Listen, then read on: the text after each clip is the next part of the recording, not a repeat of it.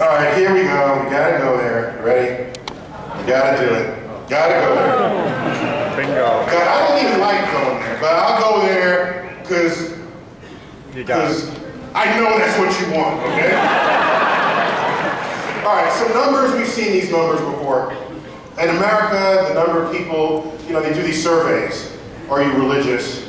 And it's not do you go to church or synagogue each weekend, because a lot of people do that just to get date, all right? So if you want to ask a more meaningful question, like, do you pray to a God for the intercession of power in your life?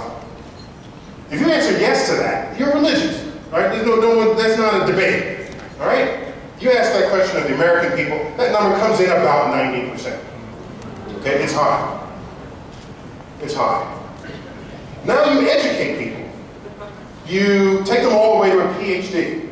The PhD, there are a lot of people who have undergraduate degrees in America who will tell you that they're educated, but in fact they're not. So I had to take this to a higher level to really make, to, to see how the numbers work. PhDs in any field, English, history, art, science.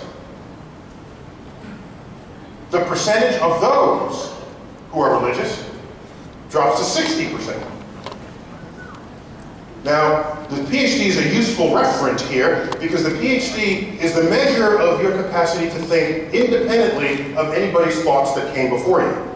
That's an important transition point in a person's educational trajectory if they make a career as being an educator. So now we say, how about, of all the educated people, let's see what the number is for scientists in America. It's 40%. What's important here is that the science number is not a drop from 90%. Because all scientists have PhDs. So the science factor here is the drop from 60% to 40%. Not from 90%. So if you only show the public and scientists, it looks like being a scientist makes you an atheist. But a bigger drop is simply being educated. That's a bigger effect on whether you're religious than whether or not you're a scientist on the total number. Okay? This number splits between uh, uh, physicists, biologists, astrofolk. We're lower, down in the teens, uh, 20, and then engineers and mathematicians are up higher, around 60. It averages to 40. How about the elite scientists? These are the ones that the scientific community votes for admission to the National Academy of Sciences. You could say that that might be a biased system, sure.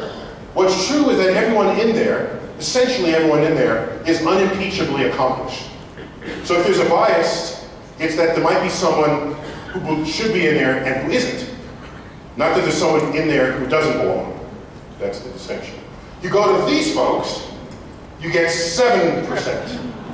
Number dropping precipitously. My argument here, by the way, when this number came out, Nature magazine had the headline, 93% of elite scientists reject God. that was the headline. And I'm thinking, that's not the headline. The headline is 7% of elite scientists don't reject God. Isn't that a more interesting fact? Isn't it? So my argument to sort of the, the, the enthusiastic atheist out there is you are trying to convert people who are just in the street, practically, like your friends and your relatives, you're trying to convert them, maybe invoking the, you're just learn more about this and you'll see the light, when in fact there are scientists, accomplished scientists, who feel that way. So I kind of think maybe we should understand what's going on in that 7%. That could just be really interesting. Maybe they can't help it. There's some brain wiring that the neuroscientists will learn about. And then we'll just have a deeper understanding of what it is when people feel that way. And then not fight about it, but just kind of say, oh, that's, that's, that's an interesting reality about the human brain.